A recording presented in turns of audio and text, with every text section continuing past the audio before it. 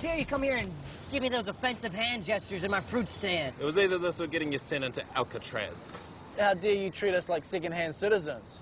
It doesn't matter what country someone's from or what they look like or the color of their skin.